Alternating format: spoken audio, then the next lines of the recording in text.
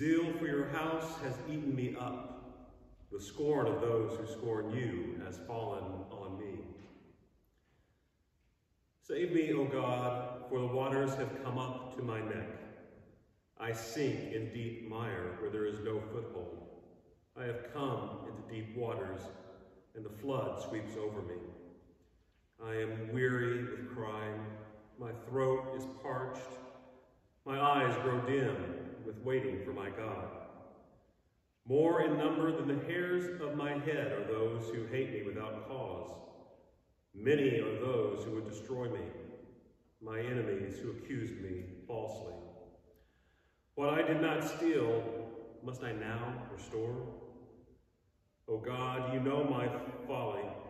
The wrongs I have done are not hidden from you. Do not let those who hope in you to be put to shame because of me. O Lord God of hosts, do not let those who seek you be dishonored because of me, O God of Israel. It is for your sake that I have borne reproach, that shame has covered my face. I have become a stranger to my kindred, an alien to my mother's children. It is zeal for your house that has consumed me. The insults of those who insult you have fallen on me. When I humbled my soul with fasting, they insulted me for doing so. When I made sackcloth for clothing, I became a byword to them. I am the subject of gossip for those who sit in the gate, and the drunkards make songs about me. But as for me, my prayer is to you, O Lord. At an acceptable time, O God, in the abundance of your steadfast love, answer me. With your faithful help, rescue me from sinking in the mire. Let me be delivered from my enemies and from the deep waters. Do not let the flood sweep over me, or the deep swallow me up, or the pit close its mouth over me. Answer me, O Lord, for your steadfast love is good. According to your abundant mercy, turn to me. Do not hide your face from your servant, for I am in distress. Make haste to answer me. Draw near to me, redeem me, set me free because of my enemies. You know the insults I receive, and my shame and dishonor. My foes are all known to you. Insults have broken my heart, so that I am in despair. I looked for pity, but there was none, and for comforters, but I found none. They gave me poison for food, and for my thirst, they gave me vinegar to drink. Let their table be a trap for them, a snare for their allies. Let their eyes be darkened so they cannot see, and make their loins tremble continually. Zeal for your house has eaten me up. The scorn of those who scorn you has fallen upon me.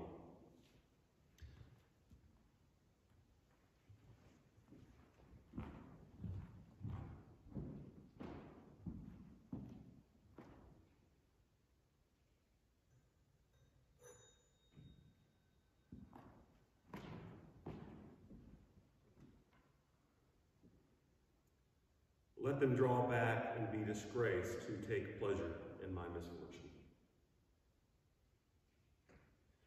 Be pleased, O God, to deliver me. O Lord, make haste to help me. Let those be put to shame and confusion who seek my life. Let those be turned back and brought to dishonor who desire to hurt me. Let those who say, Aha, aha, turn back because of their shame. Let all who seek you rejoice and be glad in you. Let those who love your salvation say evermore, God is great. But I am poor and needy. Hasten to me, O God. You are my help and my deliverer. O Lord, do not delay. Let them draw back and be disgraced who take pleasure in my misfortune.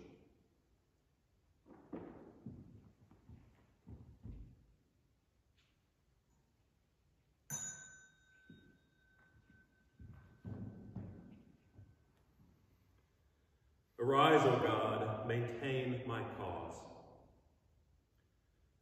O God, why do you cast us off forever?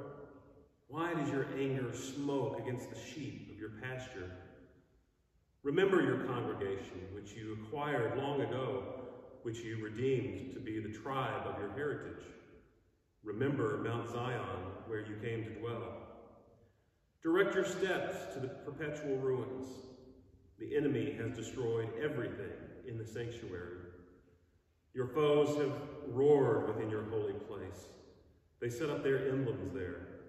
At the upper entrance, they hacked the wooden trellis with axes. And then, with hatchets and hammers, they smashed all its carved work. They set your sanctuary on fire. They desecrated the dwelling place of your name, bringing it to the ground. They said to themselves, We will utterly subdue them. They burned all the meeting places of God in the land. We do not see our emblems. There is no longer any prophet, and there is no one among us who knows how long. How long, O God, is the foe to scoff? Is the enemy to revile your name forever? Why do you hold back your hand? Why do you keep your hand in your bosom? Yet God, my King, is from old, working salvation in the earth. You divided the sea by your might. You broke the heads of the dragons in the waters. You crushed the heads of Leviathan. You gave him as food for the creatures of the wilderness. You cut openings for springs and torrents. You dried up ever-flowing streams. Yours is the day, yours also the night. You established the luminaries and sun. You have fixed all the bounds of the earth. You made summer and winter.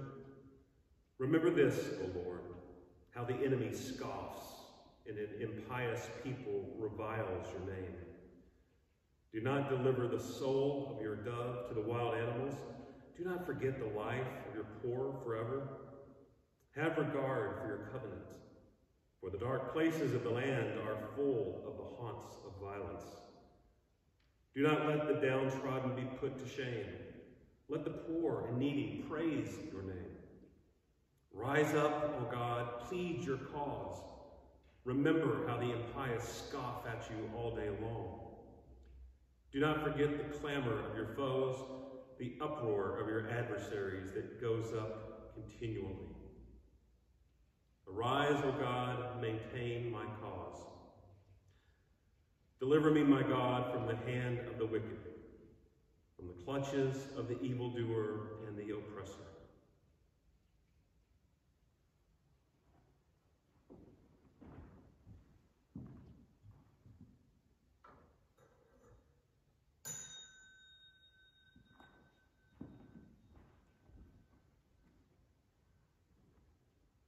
Reading from the Lamentations of Jeremiah the prophet. The words of Jeremiah, son of Hilkiah, of the priests who were in Anathoth in the land of Benjamin, to whom the word of the Lord came the days of King Josiah, son of Amon of Judah, in the thirteenth year of his reign. It came also in the days of King Jehoiakim, son of Josiah of Judah, and until the end of the eleventh year of King Zedekiah, son of Josiah of Judah, until the captivity of Jerusalem in the fifth month.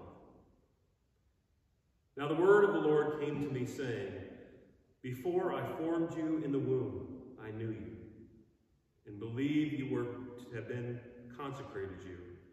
I appointed you a prophet to the nations. And then I said, Oh, Lord God, truly I do not know how to speak, for I am only a boy. But the Lord said to me, Do not say I am only a boy, for you shall go to all to whom I send you and you shall speak whatever I command you. Do not be afraid of them, for I am with you to deliver you, says the Lord. Then the Lord put his hand and touched my mouth. And the Lord said to me, Now I have put my words in your mouth. See, today I appoint you over nations and over kingdoms, to pluck up and to pull down, to destroy and to overthrow, to build and to plant. The word of the Lord came to me, saying, Jeremiah, what do you see? And I said, I see a branch of an almond tree. Then the Lord said to me, You have seen well, for I am watching over my word to perform it. The word of the Lord came to me a second time, saying, What do you see? And I said, I see a boiling pot tilted away from the north. Then the Lord said to me, Out of the north disaster shall break out on the inhabitants of the land.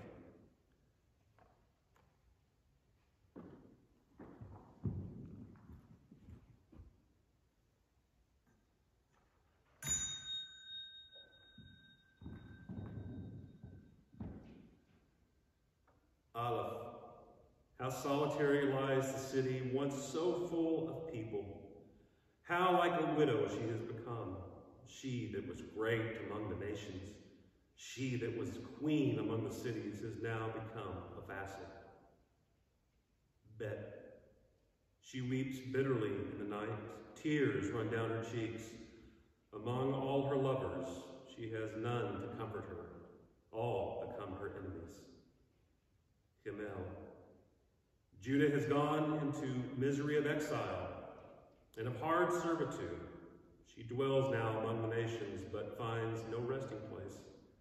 All her pursuers overtook her in the midst of her anguish.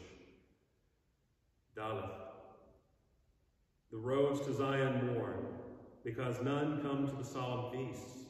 All her gates are desolate. Her priests groan and sigh. Her virgins are afflicted, and she is in bitterness. Het. Her adversaries have become her masters. Her enemies prosper, because the Lord has punished her for the multitude of her rebellions. Her children are gone, driven away as captives by the enemy. Jerusalem, Jerusalem, return to the Lord your God.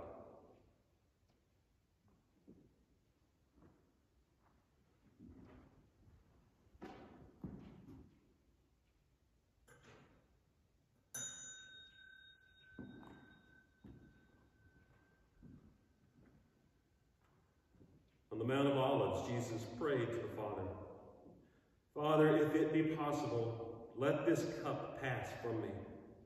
The spirit is willing, but the flesh is weak. Watch and pray that you may not enter into temptation. The spirit indeed is willing, but the flesh is weak.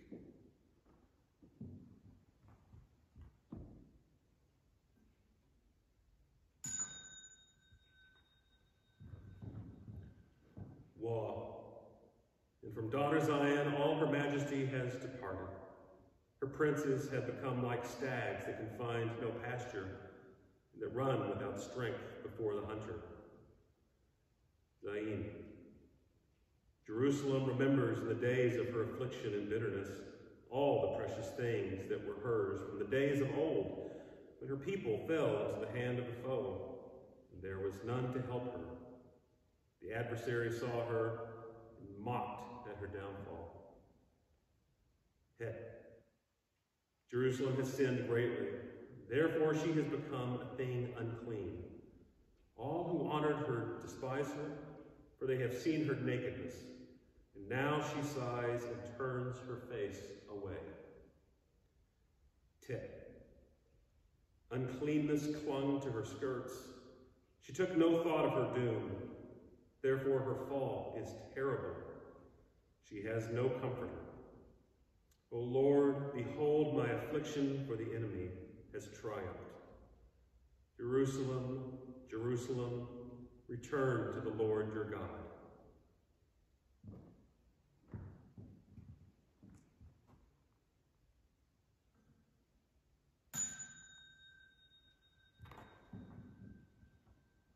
My soul is very sorrowful, even to the point of death.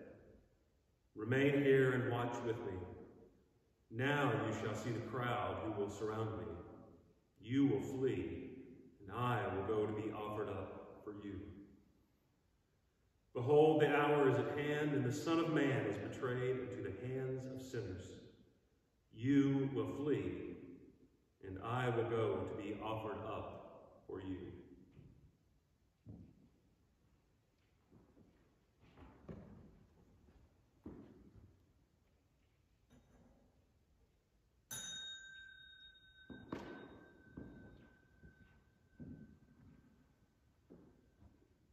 Yod. The adversary had stretched out his hand to seize all her precious things. She has seen the Gentiles invade her sanctuary, those whom you had forbidden to enter your congregation. Ka. All her people groan as they search for bread. They sell their own children for food to revive their strength. Behold, O Lord, and consider, for I am now beneath contempt. Lamed. It is nothing to you, all you who pass by. Behold and see if there is any sorrow like my sorrow, which is brought upon me, which the Lord inflicted on the day of his burning anger. Mem. From on high he sent fire into my bones, it descended. He spread a net for my feet and turned me back. He has left me desolate and faint all the day long. Nun. My transgressions were bound into a yoke. By his hand they were fastened together. Their yoke is upon my neck. He has caused my strength to fail. The Lord has delivered me into their hands. Against whom am I not able to stand up? Jerusalem, Jerusalem, return to the Lord your God.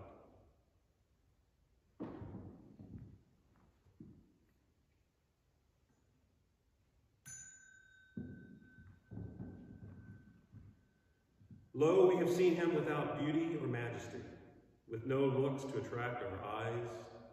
He bore our sins and grieved for us.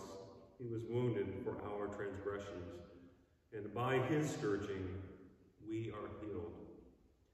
Surely he has borne our grief and carried our sorrows, and by his scourging we are healed.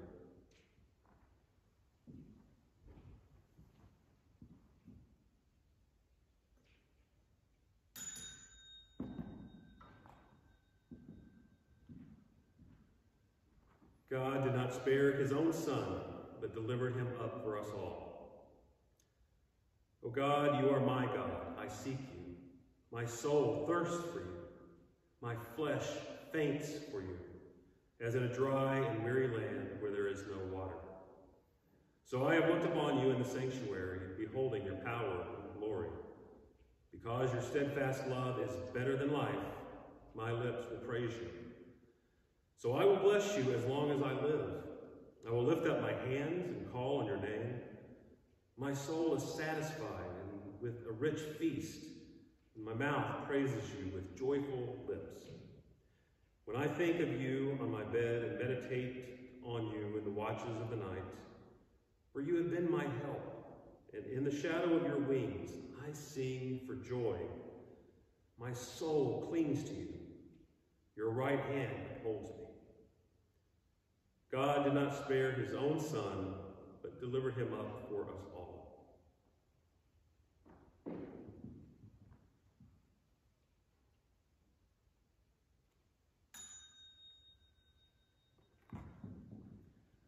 He was led like a lamb to the slaughter, and he opened not his mouth. Lord, you have been our dwelling place in all generations. Before the mountains were brought forth, Wherever you had formed the earth and the world, from everlasting to everlasting, you are God.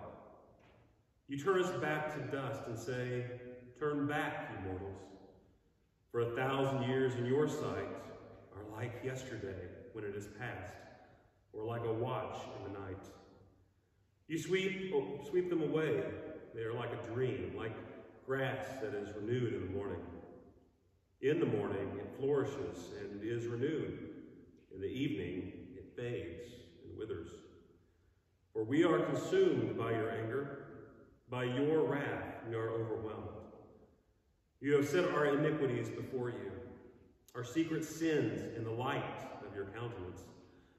For all our days pass away under your wrath. Our years come to an end like a sigh. The days of our life are 70 years, or perhaps 80 if we are strong. Even then, their span is only toil and trouble. They are soon gone, and we fly away. Who considers the power of your anger? Your wrath is as great as the fear that is due you. So teach us to count our days that we may gain a wise heart. He was led like a lamb to the slaughter, and he opened not his mouth.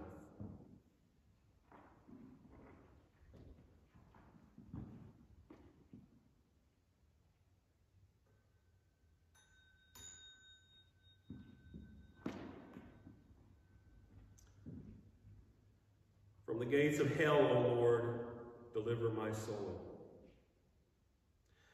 I said, In the noontide of my days I must depart. I am consigned to the gates of Sheol for the rest of my years.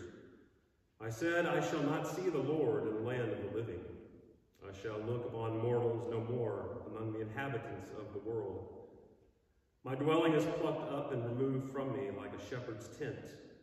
Like a weaver I have rolled up my life. He cuts me off from the loom. From day to night, you bring me to an end. I cry for help until morning. Like a lion, he breaks all my bones. From day to night, you bring me to an end. Like a swallow or a crane, I clamor. I moan like a dove. My eyes are weary, looking upward. O oh Lord, I am oppressed. Be my security. But what can I say? For he has spoken to me, and he himself has done it. All my sheep has fled because of the bitterness of my soul. O Lord, by these things people live, and in all these is the life of my spirit. O restore me to health and make me live. Surely it is for my welfare that I had great bitterness. But you have held back my life from the pit of destruction, for you have cast all my sins behind your back. For Sheol cannot thank you, death cannot praise you. Those who go down to the pit cannot hope for your faithfulness. The living, the living, they thank you, as do I this day. Fathers made known to children your faithfulness. The Lord will save me and we will sing to stringed instruments all the days of our lives at the house of the Lord. From the gates of hell, O Lord, deliver my soul.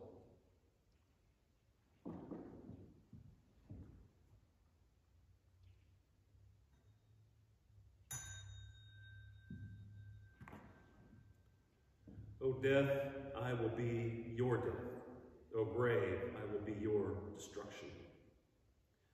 Praise the Lord. Praise God in his sanctuary. Praise him in his mighty firmament. Praise him for his mighty deeds. Praise him according to his surpassing greatness. Praise him with trumpet sound. Praise him with lute and harp. Praise him with tambourine and dance. Praise him with strings and pipe. Praise him with clanging cymbals. Praise him with loud clashing cymbals. Let everything that breathes praise the Lord. Praise the Lord. O death, I will be your death. O grave, I will be your destruction. My flesh also shall rest in hope. You will not let your Holy One see corruption.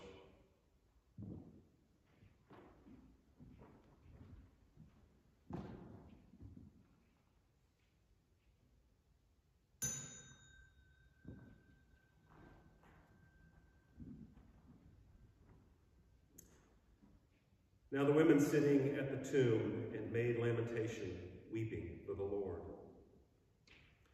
Blessed be the Lord, the God of Israel. He has come to his people and set them free. He has raised up for us a mighty Savior, born of the house of his servant David. Through his holy prophets he promised of old that he would save us from the enemies, from the hands of all who hate us. He promised to show mercy to our fathers and to remember his holy covenant. This was the oath he swore to our father Abraham, to set us free from the hands of our enemies, free to worship him without fear, holy and righteous in his sight all the days of our life. You, my child, shall be called the prophet of the Most High, for you will go before the Lord to prepare his way, to give his people knowledge of salvation by the forgiveness of their sins, and the tender compassion of our God, the dawn from on high shall break upon us, to shine on those who dwell in darkness and in the shadow of death, and to guide our feet into the way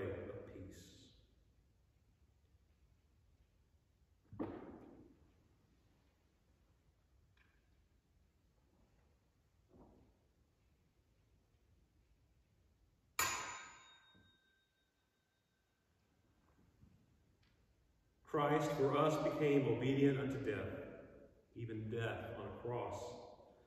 Therefore God has highly exalted him and bestowed on him the name which is above every name. Have mercy on me, O God, according to your steadfast love. According to your abundant mercy, blot out my transgressions. Wash me thoroughly from my iniquity, and cleanse me from my sin. For I know my transgressions, and my sin is ever before me. Against you, you alone, have I sinned, and done what is evil in your sight, so that you are justified in your sentence and blameless when you pass judgment. Indeed, I was born guilty. A sinner from my mother's conceived me. You desire truth in the inward being. Therefore, teach me wisdom in my secret heart. Purge me with hyssop, and I shall be clean. Wash me, and I shall be whiter than snow. Let me hear joy and gladness. Let the bones that you have crushed rejoice. Hide your face from my sins and blot out all my iniquities. Create in me a clean heart, O God, and put a new and right spirit within me. Do not cast me away from your presence, and do not take your Holy Spirit from me. Restore in me the joy of your salvation, and sustain in me a willing spirit. Then I will teach transgression your ways, and sinners will return to you. Deliver me from bloodshed, O God, O God of my salvation, and my tongue will sing aloud of your deliverance. O Lord, open my lips, and my mouth will declare your praise. For you have no delight in sacrifice, if I were to give a burnt offering, you would not be pleased. The sacrifice acceptable to God is a broken spirit. A broken and contrite heart, O God, you will not despise. Do good to Zion in your good pleasure. Rebuild the walls of Jerusalem. Then you will delight in right sacrifices, in burnt offerings, in whole burnt offerings. Then bulls will be offered on your altar.